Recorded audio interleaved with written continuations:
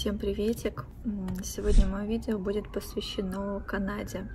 А, очень хочу поговорить на тему а, переезда в Канаду именно в данный момент. Почему это сейчас так актуально? Я хочу выделить один очень важный пункт в иммиграционной системе Канады, который в большинстве случаев отсутствует у других стран. Канада, она вообще а, приглашает мигрантов со всего мира и Канада разрабатывает специальные миграционные программы, где она а, выставляет четкие критерии для приезжих. То есть для того, чтобы приехать в Канаду на ПМЖ, то есть я замечу сразу на ПМЖ, да, то есть человек, который едет, он получает не ВНЖ, да, а есть возможность получения сразу статуса постоянного жителя Канады. И существует ряд программ, по которым четко прописаны критерии. То есть человек, который подается по одной из программ, это федеральные, провинциальные программы, да, либо это система Express Entry,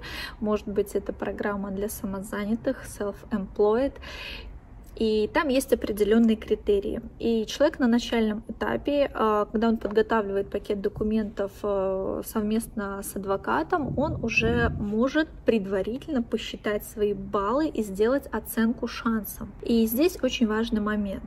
То есть э, при подаче документов, если кандидат соответствует всем необходимым критериям, то есть э, отказ здесь невозможен. Здесь отсутствует фактор, как в большинстве случаев это на усмотрение консула. То есть очень многие страны, в частности это страны там Евросоюза, выдавая а, студенческие, рабочие, там волонтерские визы, присутствует факт усмотрения консула. То есть если консулу вдруг что-то не понравилось в пакете ваших документов или при личном общении, при собеседовании, он просто ставит вам отказ.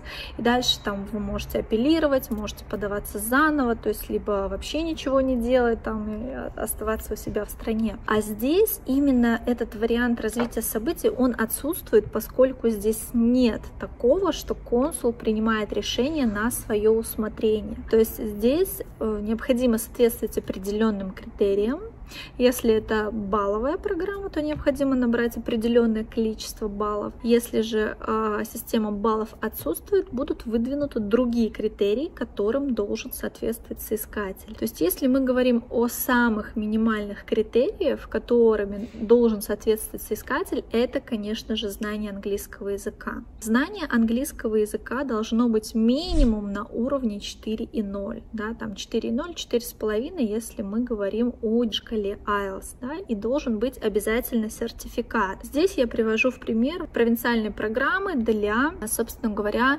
а, работников без высокой квалификации. При этом я хочу заметить, что а, уровень языка 4.0 в состоянии, в принципе, сдать экзамен практически каждый, кто, а, скажем, начнет заниматься с репетитором или с помощью какой-то программы изучать английский язык. То есть это не является является чем-то непреодолимым, да, то есть это не какой-то сверхсложный экзамен, да, то есть это минимальные требования для минимального коммуникативного общения на английском языке. То есть если вы планируете приезжать в страну с целью работы, вам, конечно же, потребуется язык, поэтому я думаю, в любом случае э, соискатель начнет его изучать. Этот пункт не должен являться устрашающим моментом э, к вашей цели переезда в Канаду. Далее, если мы говорим говорим э, о переезде э, через работодателя, то здесь в большинстве случаев вы должны будете подтвердить документально опыт вашей работы, и минимум это один год. Здесь опять э, возникают некоторые страхи, да, что если люди по каким-то причинам работали без трудовой книжки, там, может быть, либо по гражданско-правовому договору, может быть, по еще какому-то, по какой-то форме договоренности, опасаются того, что опыт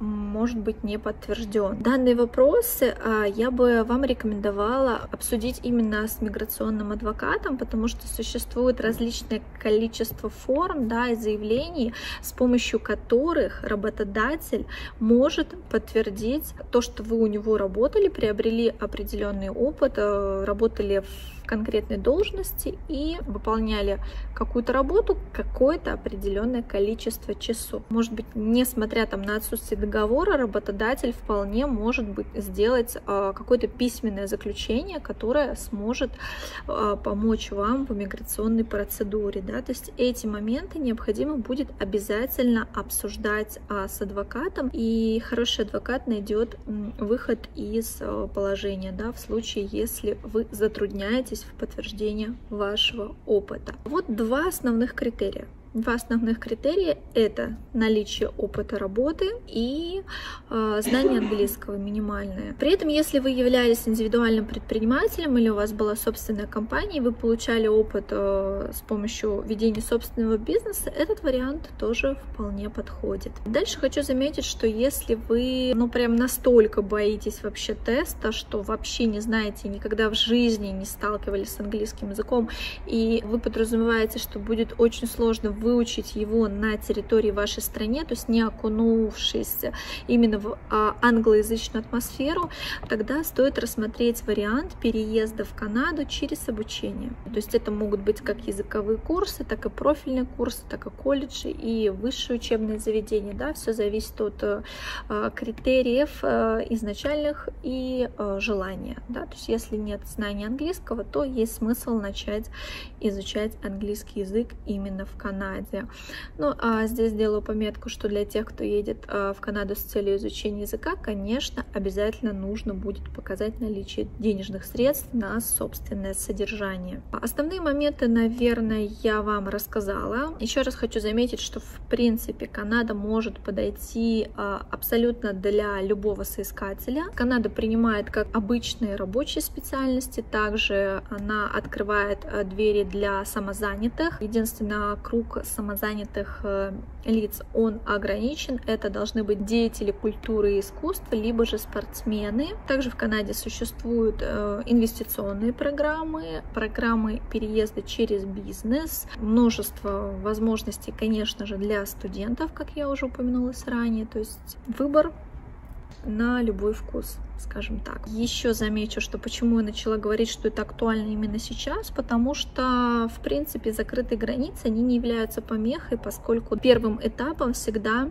происходит это подтверждение ваших дипломов. Да? Большинство дипломов из постсоветского пространства признаются э, в Канаде. Единственный момент, что нужно будет пройти нострификацию, и после этого ваши дипломы будут признаны в Канаде. Это занимает определенное количество времени. Также, если вы едете через провинциальную программу а, поиск работодателя, составление резюме, подготовка и сдача IELTS тоже занимает какое-то время, поэтому пока сейчас существует какая-то неразбериха, там, закрытой границы или еще что-то аналогичное, вы можете заняться подготовкой пакетов вашего, ваших документов, и когда ситуация в стране стабилизируется, а я больше чем уверена, что она стабилизируется, вы уже будете с готовым документом, готовы выезжать в Канаду на ПМЖ.